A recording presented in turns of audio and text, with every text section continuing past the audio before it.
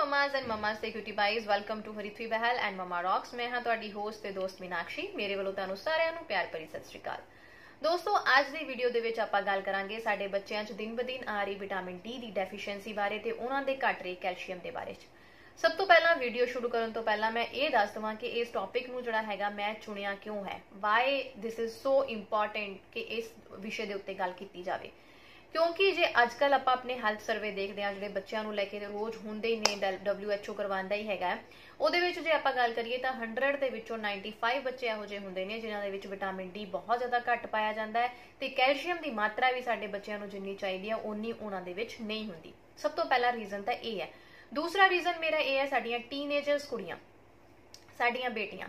ਜੋ ਹਜੇ ਇਸ ਦੌਰ ਚੋਂ ਨਹੀਂ ਨਿਕਲੀਆਂ ਕਿ ਉਹਨਾਂ ਨੂੰ ਪ੍ਰੈਗਨੈਂਸੀ ਫੇਸ ਕਰਨੀ ਪਵੇ ਜਾਂ ਡਿਲੀਵਰੀ ਫੇਸ ਕਰਨੀ ਪਵੇ, ਫਿਰ ਵੀ ਉਹਨਾਂ ਦਾ ਜਿਹੜਾ ਵਿਟਾਮਿਨ ਡੀ ਹੁੰਦਾ ਹੈ, ਉਹ ਬਹੁਤ ਜ਼ਿਆਦਾ ਘੱਟ ਹੁੰਦਾ ਹੈ ਤੇ ਕੈਲਸ਼ੀਅਮ ਬਹੁਤ ਜ਼ਿਆਦਾ ਘੱਟ ਹੁੰਦਾ ਹੈ। ਤੇ ਸਾਨੂੰ ਇਹ ਪਤਾ ਹੀ ਨਹੀਂ ਹੈ ਕਿ ਸਾਡੀ ਬੋਡੀ ਜੋ ਸਾਨੂੰ ਦੇ ਰਹੀ ਹੈ, ਸੰਕੇਤ ਦੇ ਰਹੀ ਹੈ ਜਾਂ ਸਾਡੀ ਬਾਡੀ 'ਚ ਜੋ ਸਿੰਪਟਮਸ ਆ ਰਹੇ ਨੇ, ਲੱਛਣ ਦਿਖ ਰਹੇ ਨੇ, ਉਹ ਕਿਤੇ ਨਾ ਕਿਤੇ ਇਹ ਦੱਸਦੇ ਪਏ ਨੇ ਕਿ ਮੇਰੀ ਬਾਡੀ ਦੇ ਵਿੱਚ ਜਿਹੜਾ ਵਿਟਾਮਿਨ ਡੀ ਘੱਟ ਹੈ ਜਾਂ ਕੈਲਸ਼ੀਅਮ ਘੱਟ ਹੈ।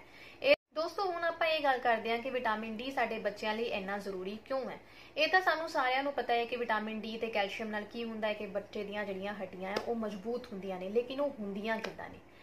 ਦੂਜੀ ਗੱਲ, ਇਹ ਸਾਡੇ ਬੱਚੇ ਦੀ ਡਿਵੈਲਪਮੈਂਟ ਗਰੋਥ ਲਈ ਬਹੁਤ ਅਹਿਮ ਰੋਲ ਨਿਭਾਉਂਦਾ ਹੈ ਤੇ ਡਿਵੈਲਪਮੈਂਟ ਗਰੋਥ ਹੁੰਦੀ ਕਿੱਥੋਂ ਹੈ? ਖੁਰਾਕ ਤੋਂ। ਤੇ ਖੁਰਾਕ ਸਾਡੇ ਬੱਚੇ ਦੇ ਸਰੀਰ ਨੂੰ ਲੱਗਦੀ ਕਿੱਥੋਂ ਹੈ? ਜਦੋਂ ਸਾਡਾ ਬੱਚਾ ਕੋਈ ਵੀ ਖਾਣਾ ਖਾਂਦਾ ਹੈ ਜਾਂ ਅਸੀਂ ਉਹਨੂੰ ਕੁਝ ਵੀ ਖਾਣ ਨੂੰ ਦਿੰਦੇ ਆ ਚਾਹੇ ਅਸੀਂ ਜਿੰਨਾ ਮਰਜ਼ੀ ਸੋਚ ਕੇ ਦਿੰਦੇ ਆ ਪ੍ਰੋਟੀਨ ਆ ਵਿਟਾਮਿਨ ਆ ਮਿਨਰਲ ਹੈ, ਲੇਕਿਨ ਅਸੀਂ ਇਹ ਨਹੀਂ ਸੋਚਦੇ ਕਿ ਕੀ ਉਹ ਖਾਣਾ ਸਾਡੇ ਬੱਚੇ ਦੀਆਂ ਹੱਡੀਆਂ ਨੂੰ ਲੱਗਦਾ ਪਿਆ ਹੈ। ਹੱਡੀਆਂ ਉਸ ਖਾਣੇ ਨੂੰ ਕਿੱਦਾਂ ਚੂਸਦੀਆਂ ਨੇ? ਜਦੋਂ ਆਪਾਂ ਕੋਈ ਵੀ ਖਾਣਾ ਖਾਂਦੇ ਆ ਸਾਡਾ ਬੱਚਾ ਕੋਈ ਵੀ ਖਾਣਾ ਖਾਂਦਾ ਹੈ ਤੇ ਜਦੋਂ ਉਹਦੀਆਂ ਅੰਤੜੀਆਂ ਉਹਦੇ ਵਿੱਚੋਂ ਪੋਸ਼ਕ ਤੱਤਾਂ ਨੂੰ ਚੂਸਦੀਆਂ ਨੇ ਤੇ ਉਹ ਸਾਡੀ ਸਾਰੀ ਬਾਡੀ ਦੇ ਵਿੱਚ ਅਬਜ਼ੌਰਬ ਹੁੰਦੀਆਂ ਨੇ, ਉਹ ਕਿਹਦੀ ਮਦਦ ਨਾਲ ਹੁੰਦੀਆਂ ਨੇ? ਵਿਟਾਮਿਨ ਡੀ ਦੀ ਮਦਦ ਨਾਲ ਹੁੰਦੀਆਂ ਨੇ। ਸਭ ਤੋਂ ਮੇਨ ਇੰਪੋਰਟੈਂਟ ਸਾਡੀਆਂ ਹੱਡੀਆਂ ਨੂੰ ਮਜ਼ਬੂਤੀ ਬਣਾਉਣ ਲਈ ਕੀ ਚਾਹੀਦਾ ਹੈ? ਕੈਲਸ਼ੀਅਮ। ਤੇ ਕੈਲਸ਼ੀਅਮ ਬਾਡੀ ਉਦੋਂ ਹੀ ਅਬਜ਼ੌਰਬ ਕਰ ਸਕਦੀ ਹੈ ਜੇ ਬਾਡੀ ਕੋਲ ਵਿਟਾਮਿਨ ਡੀ ਹੈਗਾ ਤੇ ਜੇ ਸਾਡੇ ਬੱਚੇ ਕੋਲ ਵਿਟਾਮਿਨ ਡੀ ਹੀ ਨਹੀਂ ਹੈ ਤੇ ਉਹ ਖਾਣੇ ਦੇ ਵਿੱਚੋਂ ਕੈਲਸ਼ੀਅਮ ਕਿੱਦਾਂ ਚੂਸੇਗਾ ਤੇ ਉਹ ਚੂਸੇਗਾ ਨਹੀਂ ਤਾਂ ਉਹਦੀਆਂ ਹੱਡੀਆਂ ਕਿੱਦਾਂ ਮਜ਼ਬੂਤ ਹੋਣਗੀਆਂ। ਇਸ ਲਈ ਬੱਚਿਆਂ ਦੀ ਗਰੋਥ ਤੇ ਡਿਵੈਲਪਮੈਂਟ ਲਈ ਵਿਟਾਮਿਨ ਡੀ ਦਾ ਹੋਣਾ ਬਹੁਤ ਜ਼ਰੂਰੀ ਹੈ। ਸਾਡੇ ਬੱਚਿਆਂ ਦੀਆਂ ਹੱਡੀਆਂ ਦੇ ਵਿੱਚ ਉਹ ਸ਼ਕਤੀ ਹੋਣਾ ਬਹੁਤ ਜ਼ਰੂਰੀ ਹੈ ਕਿ ਉਹ ਖਾਣੇ ਦੇ ਵਿੱਚੋਂ ਪੋਸ਼ਕ ਤੱਤਾਂ ਨੂੰ ਚੂਸ ਸਕਣ। ਇਸ ਟੌਪਿਕ ਦੇ ਉੱਤੇ ਸਾਡੀ ਇੱਕ ਬਹੁਤ ਜਿਹੜੀ ਅੱਛੀ ਜਿਹੜੀ ਹੈ ਵੀਡੀਓ ਆ ਚੁੱਕੀ ਹੈ, ਜਿਹਦੇ ਵਿੱਚ ਆਪਾਂ ਵਿਸਤਾਰ ਨਾਲ ਗੱਲ ਕੀਤੀ ਹੈ ਕਿ ਹੱਡੀਆਂ ਨੂੰ ਕਿਵੇਂ ਇਦਾਂ ਦਾ ਬਣਾਈਏ ਕਿ ਉਹ ਪੋਸ਼ਕ ਤੱਤਾਂ ਨੂੰ ਖਾਣੇ ਵਿੱਚੋਂ ਚੂਸ ਸਕਣ? ਉਹਦਾ ਜਿਹੜਾ ਡਿਸਕ੍ਰਿਪਸ਼ਨ ਬਾਕਸ ਦੇ ਵਿੱਚ ਮੈਂ ਲਿੰਕ ਛੱਡਾਂਗੀ। ਉਸ ਵੀਡੀਓ ਨੂੰ ਜ਼ਰੂਰ ਦੇਖਣਾ, ਤੁਹਾਡੀ ਬਹੁਤ ਜ਼ਿਆਦਾ ਹੈਲਪ ਹੋਏਗੀ। ਹੁਣ ਆਂਦੇ ਆ ਆਪਣੇ ਟੌਪਿਕ ਤੇ ਕਿ ਬੱਚੇ ਲਈ ਇੰਨਾ ਇੰਪੋਰਟੈਂਟ ਕਿਉਂ ਹੈ? ਪਹਿਲੀ ਗੱਲ ਤਾਂ ਆਪਾਂ ਕਰ ਲਈ ਕਿ ਹੱਡੀਆਂ ਨੇ ਉਹ ਖਾਣਾ ਉਦੋਂ ਹੀ ਚੂਸਣਾ ਜਦੋਂ ਉਹਦੇ ਕੋਲ ਵਿਟਾਮਿਨ ਡੀ ਹੈਗਾ ਦੂਜਾ ਇਹ ਹੈਗਾ ਹੈ ਕਿ ਜਦੋਂ ਹੁਣ ਆਪਾਂ ਟੀਨੇਜਰ ਕੁੜੀਆਂ ਦੀ ਗੱਲ ਕੀਤੀ ਹੈ ਉਹਨਾਂ ਦੇ ਵਿੱਚ ਵਿਟਾਮਿਨ ਡੀ ਘੱਟ ਹੈ ਕੈਲਸ਼ੀਅਮ ਘੱਟ ਹੈ, ਉਹ ਇਸ ਪੱਧਰ ਤੇ ਜਾ ਕੇ ਤਾਂ ਘੱਟ ਨਹੀਂ ਹੋਇਆ। ਕਿਤੇ ਨਾ ਕਿਤੇ ਉਹਨਾਂ ਦੇ ਬਚਪਨ ਦੇ ਵਿੱਚ ਉਹ ਆਪਾਂ ਗਲਤੀਆਂ ਕਰ ਦਿੱਤੀਆਂ, ਉਹਨਾਂ ਦੀ ਡਾਈਟ ਦੇ ਵਿੱਚ ਉਹ ਗਲਤੀਆਂ ਕਰ ਦਿੱਤੀਆਂ, ਉਹਨਾਂ ਦੇ ਨਾਲ ਆਪਾਂ ਉਹ ਗਲਤੀਆਂ ਕਰ ਦਿੱਤੀਆਂ ਕਿ ਸਾਡੇ ਜਿਹੜਾ ਬੱਚਾ ਹੈਗਾ, ਉਸ ਖਾਣੇ ਦੇ ਵਿੱਚੋਂ ਪੋਸ਼ਕ ਤੱਤਾਂ ਨੂੰ ਚੂਸ ਹੀ ਨਹੀਂ ਸਕਿਆ ਜਾਂ ਉਹਦੇ ਵਿਟਾਮਿਨ ਡੀ ਤੇ ਕੈਲਸ਼ੀਅਮ ਦੀ ਕਮੀ ਸਾਡੇ ਤੋਂ ਹੀ ਕਿਤੇ ਨਾ ਕਿਤੇ ਰਹਿ ਗਈ ਤੇ ਉਹ ਵੱਡਾ ਹੋ ਕੇ ਇਸ ਫੇਸ ਨੂੰ ਸਾਹਮਣਾ ਕਰਦਾ ਪਿਆ ਇਸ ਲਈ ਜ਼ਰੂਰਤ ਹੈ ਕਿ ਬਚਪਨ ਤੋਂ ਹੀ ਆਪਾਂ ਬੱਚੇ ਦੇ ਨਾਲ ਉਹੋ ਜੇ ਢੰਗ ਨਾਲ ਉਹਦੀ ਡਾਈਟ ਰੱਖੀਏ, ਉਹੋ ਜਿਹਾ ਉਹਦਾ ਕਾਰ ਵਿਹਾਰ ਰੱਖੀਏ ਤਾਂ ਜੋ ਜਿਹੜੀ ਉਹਦੇ ਵਿੱਚ ਵਿਟਾਮਿਨ ਡੀ ਜਾਂ ਕੈਲਸ਼ੀਅਮ ਦੀ ਕਮੀ ਨਾ ਆਵੇ। ਨੈਕਸਟ ਫਰੈਂਡਸ ਗੱਲ ਕਰਦੇ ਹਾਂ ਕਿ ਬੱਚਿਆਂ ਦੇ ਵਿੱਚ ਵਿਟਾਮਿਨ ਡੀ ਦੀ ਕਮੀ ਆ ਹੀ ਕਿਉਂ ਰਹੀ ਹੈ? ਕਿਉਂ ਮੋਸਟਲੀ ਕੇਸਿਸ ਜਿਹੜੇ ਹੈਗੇ ਨੇ ਬੱਚਿਆਂ ਦੇ ਵਿੱਚ deficiency of vitamin D show ਕਰਦੇ ਨੇ? ਕਿਉਂਕਿ ਦੋਸਤੋ, ਸਾਡਾ ਜਿਹੜਾ ਹੈਗਾ ਨਾ ਡੇਲੀ ਦਾ ਰੁਟੀਨ ਹੀ ਇਦਾਂ ਦਾ ਹੋ ਗਿਆ ਭੱਜ ਦੌੜ ਹੋ ਗਈ ਹੈ, ਮੰਮਾ, ਪਾਪਾ ਜਿਹੜੇ ਆਫਿਸ ਜਾਂਦੇ ਨੇ, ਬੱਚਾ ਜਾਂ ਤਾਂ ਮੇਡ ਦੇ ਸਹਾਰੇ ਹੈ ਜਾਂ ਰੱਬ ਦੇ ਆਸਰੇ ਹੈ ਜਾਂ ਫੈਮਿਲੀ ਮੈਂਬਰਸ ਅਦਰਸ ਦੇਖਦੇ ਪਏ ਨੇ। ਤੇ ਸਕੂਲ ਜਿਹੜੇ ਬੱਚੇ ਦੇ ਜਲਦੀ ਲੱਗ ਜਾਂਦੇ ਨੇ ਤੇ ਬੱਚਾ ਸਵੇਰੇ ਜਲਦੀ ਸਕੂਲ ਚਲਾ ਜਾਂਦਾ ਹੈ, ਫਿਰ ਆਂਦਾ ਹੈ, ਫਿਰ ਥੱਕਿਆ ਹਾਰਿਆ ਆਂਦਾ ਹੈ ਮਾਪੇ ਥੱਕੇ ਹਾਰੇ ਆਂਦੇ ਨੇ। ਵਿਟਾਮਿਨ ਡੀ ਦੇਣ ਦਾ ਸਾਡੇ ਕੋਲ ਬੱਚੇ ਨੂੰ ਸਮਾਂ ਹੀ ਨਹੀਂ ਹੈ, ਕਿਉਂਕਿ ਵਿਟਾਮਿਨ ਡੀ ਦਾ ਜਿਹੜਾ ਸਭ ਤੋਂ ਮੇਨ ਸੋਰਸ ਹੈ, ਉਹ ਹੈਗੀ ਹੈ ਸਨਲਾਈਟ ਜੋ ਸਾਨੂੰ ਫ੍ਰੀ ਦੇ ਵਿੱਚ ਜਿੱਥੋਂ ਸਾਨੂੰ ਵਿਟਾਮਿਨ ਡੀ ਮਿਲੇਗਾ। ਤੇ ਸਾਨੂੰ ਖੁਦ ਨੂੰ ਵੀ ਪਤਾ ਹੈ ਕਿ ਜਿਹੜੀ ਚੀਜ਼ ਸਾਨੂੰ ਫ੍ਰੀ ਮਿਲਦੀ ਹੋਵੇ ਨਾ, ਸਾਨੂੰ ਉਹਦੀ ਕਦਰ ਨਹੀਂ ਹੁੰਦੀ। ਇਸ ਕਰਕੇ ਸਾਡੇ ਬੱਚੇ ਜਿਹੜੀ ਹੈ ਵਿਟਾਮਿਨ ਡੀ ਦੀ ਸਭ ਤੋਂ ਮੇਨ ਰੀਜ਼ਨ ਤਾਂ ਉਥੋਂ ਹੈ ਕਮੀ ਆਉਣ ਦਾ। ਦੂਜਾ ਜਿਹੜਾ ਇੱਕ ਰੀਜ਼ਨ ਵੀ ਹੁੰਦਾ ਹੈ ਕਿਉਂਕਿ ਵਿਟਾਮਿਨ ਡੀ ਅਸੀਂ ਇਹ ਨਹੀਂ ਕਿ 2-3 ਵਜੇ ਆਪਣੇ ਬੱਚੇ ਨੂੰ ਧੁੱਪ ਦਿਖਾਤੀ ਤੇ ਅਸੀਂ ਸੋਚਦੇ ਹਾਂ ਕਿ ਉਹਦੇ ਅੰਦਰ ਜਿਹੜਾ ਵਿਟਾਮਿਨ ਡੀ ਚਲਾ ਗਿਆ। ਨਹੀਂ, ਜਿਹੜਾ ਸਵੇਰ ਉੱਠਦੇ ਸੂਰਜ ਦੀਆਂ ਕਿਰਨਾਂ ਬੱਚੇ ਦੇ ਉੱਤੇ ਪੈਂਦੀਆਂ ਨੇ, ਉਹਨਾਂ ਸੂਰਜ ਕਿਰਨਾਂ ਦੇ ਵਿੱਚ ਵਿਟਾਮਿਨ ਡੀ ਦੀ ਮਾਤਰਾ ਜਿਹੜੀ ਜ਼ਿਆਦਾ ਹੁੰਦੀ ਹੈ ਤੇ ਉਹੀ ਸਾਡੇ ਬੱਚੇ ਲਈ ਲਾਭਦਾਇਕ ਹੁੰਦੀਆਂ ਨੇ। ਤੇ ਹੋਰ ਵੀ ਬਹੁਤ ਗੱਲਾਂ ਹੁੰਦੀਆਂ ਨੇ ਜਿਹਨਾਂ ਨੂੰ ਆਪਾਂ ਡਿਸਕਸ ਕਰਾਂਗੇ ਜਿਨ੍ਹਾਂ ਦੀ ਕਮੀ ਕਰਕੇ ਸਾਡੇ ਬੱਚੇ 'ਚ ਵਿਟਾਮਿਨ ਡੀ ਦੀ ਕਮੀ ਆਉਂਦੀ ਹੈ। ਉਸ ਤੋਂ ਪਹਿਲਾਂ ਆਪਾਂ ਇਹ ਗੱਲ ਕਰ ਲੈਂਦੇ ਹਾਂ ਕਿ ਲੱਛਣ ਕੀ ਨੇ। ਜਿਸ ਤੋਂ ਅਸੀਂ ਇਹ ਪਛਾਣਨਾ ਹੈ ਕਿ ਸਾਡੇ ਬੱਚੇ ਦੀ ਜਿਹੜੀ ਸਰੀਰ ਦੇ ਵਿੱਚ ਹੈ ਵਿਟਾਮਿਨ ਡੀ ਦੀ ਕਮੀ ਹੈ। ਦੋਸਤੋ ਮੇਨ ਜਿਹੜੇ ਛੁੱਟ-ਪੁੱਟ ਜਿਹੜੇ ਰੀਜ਼ਨਸ ਹੁੰਦੇ ਨੇ, ਜਿਹੜੇ ਸਾਨੂੰ ਸਾਰਿਆਂ ਨੂੰ ਪਤਾ ਹੈ ਕਿ ਸਾਨੂੰ ਲੱਗਦਾ ਹੈ ਕਿ ਸਾਡਾ ਬੱਚਾ ਥੱਕਿਆ ਹੋਇਆ ਹੈ, ਉਹਦੀਆਂ ਹੱਡੀਆਂ ਮਜ਼ਬੂਤ ਨਹੀਂ ਹੈਗੀਆਂ, ਉਹ weight ਨਹੀਂ ਗੇਨ ਕਰਦਾ ਪਿਆ ਜਾਂ ਉਹ ਥੱਕਿਆ ਥੱਕਿਆ ਰਹਿੰਦਾ ਹੈ, ਉਹ ਲੰਮਾ ਪਿਆ ਰਹਿੰਦਾ ਹੈ ਜਾਂ ਵੱਡਿਆਂ ਦੇ ਵਿੱਚ ਟੀਨੇਜਰਸ ਦੇ ਵਿੱਚ ਲੈ ਲਈਏ ਕਿ ਉਹਨਾਂ ਦਾ ਹੇਅਰ ਫਾਲ ਹੁੰਦਾ ਹੈ ਉਹ ਵੀਕਨੈਸ ਹੈਗੀ ਹੈ ਵੀਕਨੈਸ ਤੋਂ ਸਿੰਪਲ ਜੀ ਗੱਲ ਹੈ ਉਹ ਸਾਰਿਆਂ ਦੇ ਵਿੱਚ ਹੁੰਦੀ ਹੈ, ਜਿਨ੍ਹਾਂ ਨੂੰ ਵਿਟਾਮਿਨ ਡੀ ਦੀ ਕਮੀ ਹੁੰਦੀ ਹੈ। ਲੇਕਿਨ ਹੁਣ ਮੈਂ ਤੁਹਾਡੇ ਨਾਲ ਸਾਂਝਾ ਕਰਾਂਗੀ ਕਿ ਇਹੋ ਜਿਹਾ ਰੀਜ਼ਨ ਜਿਹੜਾ ਤੁਸੀਂ ਕਦੀ ਸੋਚਿਆ ਵੀ ਨਹੀਂ ਹੋਏਗਾ ਕਿ ਵਿਟਾਮਿਨ ਡੀ ਜਾਂ ਕੈਲਸ਼ੀਅਮ ਦੀ ਘਾਟ ਨਾ ਹੁੰਦਾ ਹੈ। ਉਹ ਕੀ ਹੈ?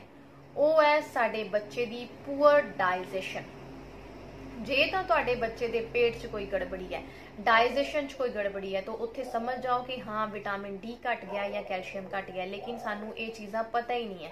ਜੇ ਸਾਡੇ ਬੱਚੇ ਦਾ ਪੇਟ ਖਰਾਬ ਹੈ, ਅਸੀਂ ਉਹਦੇ ਘਰ ਉਟਨਿਟ ਕਰਦੇ ਹਾਂ, ਉਹਦੀ ਡਾਈਟ ਨੂੰ ਉਹਦਾ ਚੇਂਜ ਕਰ ਦਿੰਦੇ ਹਾਂ ਕਿ ਹਾਈ ਗੈਸ ਬਣ ਗਈ ਹੋਏਗੀ ਜਾਂ ਅਦਰ ਕੋਈ ਵੀ ਰੀਜ਼ਨ ਲੈ ਕੇ ਜਾਂ ਡਾਕਟਰ ਕੋਲ ਵੀ ਜਾਂਦੇ ਹਾਂ ਤਾਂ ਸਿਰਫ ਅਸੀਂ ਪੇਟ ਦੀ ਚੀਜ਼ ਨੂੰ ਡਿਸਕਸ ਕਰਕੇ ਜੀ ਇਹਦਾ ਪੇਟ ਖਰਾਬ ਹੈ ਤਾਂ ਦਵਾਈ ਲੈ ਕੇ ਆ ਜਾਂਦੇ ਹਾਂ। ਲੇਕਿਨ ਅਸੀਂ ਕਦੀ ਨਹੀਂ ਸੋਚਦੇ ਕਿ ਪੂਅਰ ਡਾਈਜੈਸ਼ਨ ਦਾ ਜਿਹੜਾ ਰੀਜ਼ਨ ਹੈਗਾ ਆ, ਉਹ ਵਿਟਾਮਿਨ ਡੀ ਦੀ ਕਮੀ ਵੀ ਹੋ ਸਕਦਾ ਹੈ।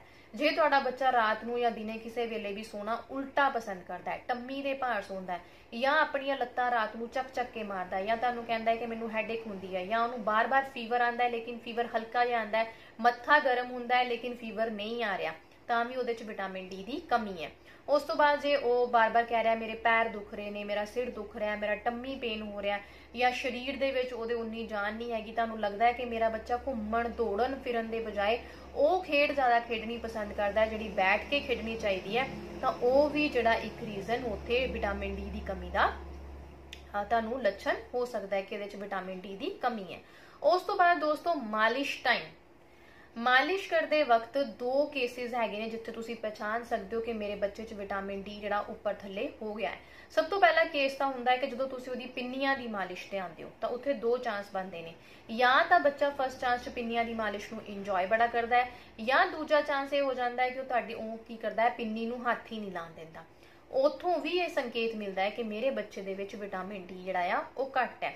ਨੈਕਸਟ ਇੱਕ ਸੰਕੇਤ ਹੈ ਕਿ ਅਗਰ ਬੱਚਾ ਦੁਬਲਾ ਪਤਲਾ ਹੈ, ਤੇ ਉਥੋਂ ਆਪਾਂ ਹੈਲਦੀ ਜਾਂ ਅਨਹੈਲਦੀ ਦਾ ਅੰਦਾਜ਼ਾ ਤਾਂ ਨਹੀਂ ਲਗਾਣਾ ਆਪਾਂ ਇਹ ਦੇਖਣਾ ਓਵਰਆਲ ਸਾਡੇ ਬੱਚੇ ਦੀ ਫਿਜ਼ਿਕ ਕਿਦਾਂ ਦੀ ਹੈ। ਮੰਨ ਲਓ ਜਿੱਦਾਂ ਇਹ ਬਾਹ ਹੈ। ਜੇ ਮੇਰੇ ਬੱਚੇ ਦੀ ਓਵਰਆਲ ਬਾਹ ਪਤਲੀ ਹੈ ਦੈਟਸ ਓਕੇ ਲੇਕਿਨ ਬਾਹ ਪਤਲੀ ਹੈ, ਪਰ ਗੁੱਟ ਜਿਹੜਾ ਆ, ਉਹ ਬਾਹਰ ਨੂੰ ਨਿਕਲਿਆ। ਗੁੱਟ ਚੌੜਾ ਆ। ਜਾਂ ਮੇਰੇ ਬੱਚੇ ਦੀਆਂ ਲੱਤਾਂ ਐਲਬੋ ਟਾਈਪ ਨੇ, ਉਹਦੇ ਪੈਰ ਅੰਦਰ ਨੂੰ ਤਸੇ ਹੋਏ ਨੇ। ਇਟ ਮੀਨਸ ਮੇਰੇ ਬੱਚੇ ਨੂੰ ਵਿਟਾਮਿਨ ਡੀ ਦੀ ਕਮੀ ਹੈ, ਉਹਦੇ ਵਿੱਚ ਕੈਲਸ਼ੀਅਮ ਘਟ ਗਿਆ ਇਹ ਸੋਚ ਲਓ ਕਿ ਵਿਟਾਮਿਨ ਡੀ ਕੈਲਸ਼ੀਅਮ ਆਪਸ ਜੁੜੇ ਹੋਏ ਨੇ। ਸਰੀਰ ਨੂੰ ਵਿਟਾਮਿਨ ਡੀ ਹੈਗਾ ਸਰੀਰ ਦੇ ਵਿੱਚ, ਤਾਂ ਹੀ ਉਹਦੇ ਵਿੱਚ ਜਿਹੜੀ ਹੈ ਕੈਲਸ਼ੀਅਮ ਦੀ ਅਬਜ਼ੌਰਪਸ਼ਨ ਹੁੰਦੀ ਹੈ, ਨਹੀਂ ਤਾਂ ਬੱਚੇ ਨੂੰ ਜਿੰਨਾ ਮਰਜ਼ੀ ਦੁੱਧ ਪਿਲਾਈ ਜਾਓ, ਉਹਦੇ ਵਿੱਚ ਵਿਟਾਮਿਨ ਡੀ ਘੱਟ ਹੈ ਤਾਂ ਉਹਨੂੰ ਕਦੀ ਵੀ ਦੁੱਧ ਦਾ ਕੈਲਸ਼ੀਅਮ ਨਹੀਂ ਲੱਗਣਾ। ਇਹਨਾਂ ਗੱਲਾਂ ਨੂੰ ਸਾਨੂੰ ਧਿਆਨ ਦੇ ਵਿੱਚ ਰੱਖਣਾ ਪਵੇਗਾ।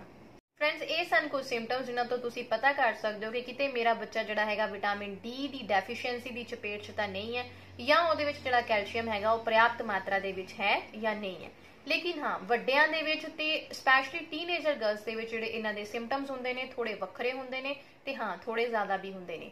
ਲੇਕਿਨ ਘਬਰਾਉਣ ਦੀ ਜ਼ਰੂਰਤ ਨਹੀਂ ਹੈ। ਜੇ ਮੇਰਾ ਬੱਚਾ ਜਿਹੜਾ ਹੈਗਾ, ਉਹ ਵਿਟਾਮਿਨ ਡੀ ਦੀ ਡੈਫੀਸ਼ੀਐਂਸੀ ਦਾ ਸ਼ਿਕਾਰ ਹੈ, ਤਾਂ ਮੈਂ ਘਰ ਦੇ ਵਿੱਚ ਹੀ ਡਾਈਟ ਨੂੰ ਥੋੜਾ ਜਿਹਾ ਜਿਹੜਾ ਹੈ ਸੁਧਾਰ ਕੇ, ਉਹਦੀ ਡਾਈਟ ਦੇ ਵਿੱਚ ਉਟਨਿਟ ਕਰਕੇ, ਉਹਦੀਆਂ ਆਦਤਾਂ ਸੁਧਾਰ ਕੇ ਉਹਦੀ ਜਿਹੜੀ ਇਹ ਡੈਫੀਸ਼ੀਐਂਸੀ ਹੈਗੀ ਹੈ ਉਹਨੂੰ ਪੂਰੀ ਕਰ ਸਕਦੀ ਆ ਇਹਦੇ ਲਈ ਤੁਹਾਡੀ ਹੈਲਪ ਕਰੇਗਾ ਡਿਸਕ੍ਰਿਪਸ਼ਨ ਬਾਕਸ ਦੇ ਵਿੱਚ ਦਿੱਤੀ ਗਈ ਸਾਡੀ ਵੀਡੀਓ ਦਾ ਲਿੰਕ ਉਸ ਲਿੰਕ ਤੇ ਜਾ ਕੇ ਉਸ ਵੀਡੀਓ ਨੂੰ ਜ਼ਰੂਰ ਦੇਖੋ, ਤੁਹਾਡੀ ਹੈਲਪ ਜਿਹੜੀ ਹੈ ਜ਼ਰੂਰ ਹੋਵੇਗੀ। ਜੇ ਤੁਹਾਨੂੰ ਅੱਜ ਦੀ ਜਿਹੜੀ ਵੀਡੀਓ ਆ ਚੰਗੀ ਲੱਗੇ ਤਾਂ ਲਾਈਕ ਜ਼ਰੂਰ ਕਰਿਓ। ਸਾਡੇ ਚੈਨਲ ਨੂੰ ਸਬਸਕ੍ਰਾਈਬ ਕਰਨਾ ਨਾ ਭੁੱਲਿਓ ਤੇ ਹਾਂ ਸ਼ੇਅਰ ਕਰਿਓ ਹੋਰਨਾਂ ਨਾਲ ਤਾਂ ਜੋ ਕਿਸੇ ਹੋਰ ਦੀ ਵੀ ਥੋੜੀ ਬਹੁਤੀ ਹੈਲਪ ਹੋ ਸਕੇ। Thank you very much guys for watching Haritvi Behl and mama rocks ਸਤਿ ਸ਼੍ਰੀ ਅਕਾਲ।